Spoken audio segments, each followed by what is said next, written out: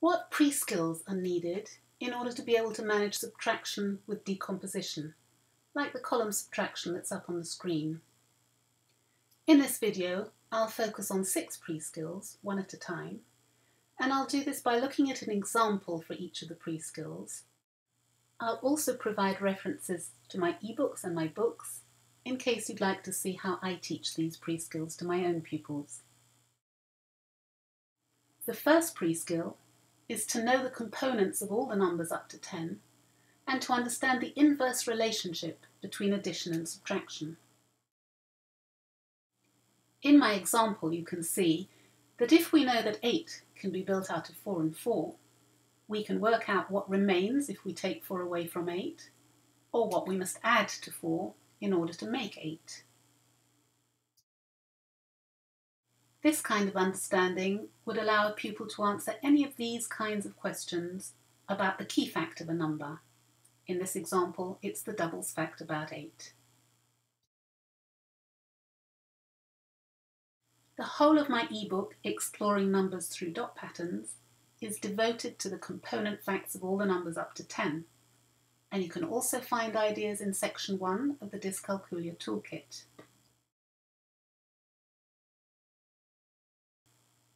Another way to learn about number relationships is by working with Cuisenaire rods.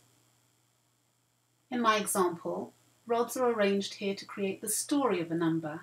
Here it's the story of 8. The story of a number serves to demonstrate all the addition and subtraction facts about that number. So putting this pre-skill in place will allow pupils to answer any of these kind of questions about any of the components of any of the numbers up to 10.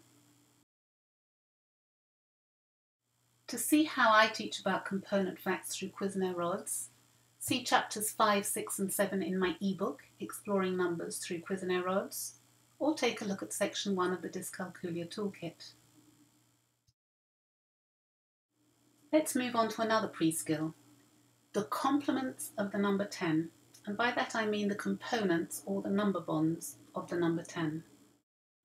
Here's my example. These are the important facts about 10, these five facts, which can be seen very clearly in a story of 10. And they can also be seen by moving beads one at a time on a bead string. So a mastery of this pre-skill would allow a pupil to answer any of these sorts of questions about the complement facts of 10. You can find information about how I teach about the complements to 10 in Chapter 7 of my Cuisenaire ebook or in Section 1 of the Dyscalculia Toolkit. The next pre-skill that I want to look at is subtraction performed as complementary addition. And what that means is that we can work forwards to find the difference instead of having to work backwards. In my example, 8 minus 4 you can see that if we take the 4 away from the beginning of the line, there's no need to do any counting backwards at all. In an example such as 14 minus 8, complementary addition would be the best method. The answer is the difference, the gap between the two numbers. And we can achieve that by working forwards. What must be added to 8 in order to reach or to equal 14?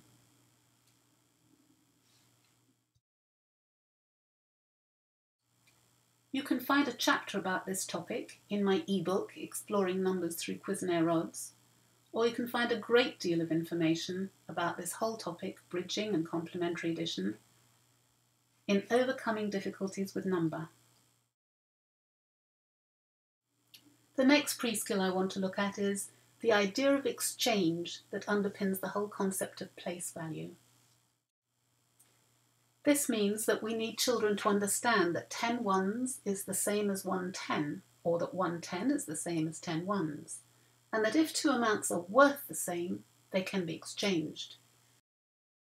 And the same goes for 10 tens being equal to 100, or vice versa, or 10 hundreds being equal to 1000. And the other thing that children need to understand about place value is the rate of exchange, in our decimal number system, the rate of exchange is always 10.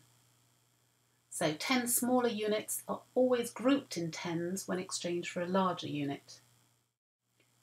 Here we can see 10 ones being exchanged for one ten, and 10 tens being exchanged for 100 and 10 hundreds being exchanged for 1000.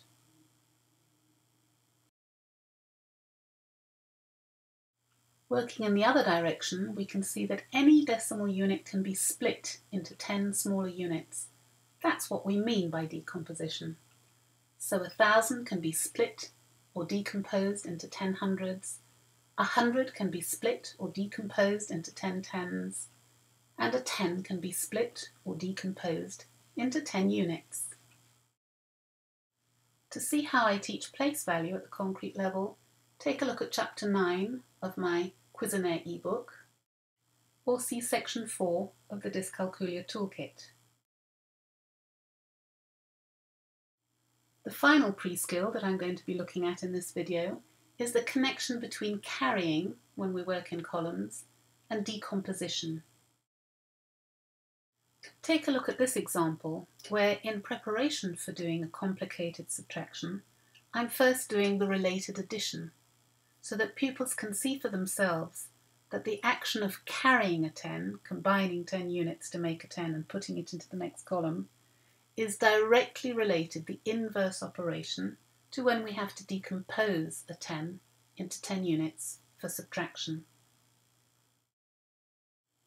With all the pre-skills in place, the pupil is now ready to tackle the kind of subtraction that we started this video with, the one in this example and they should be able to understand every single step of the process of decomposition and subtraction.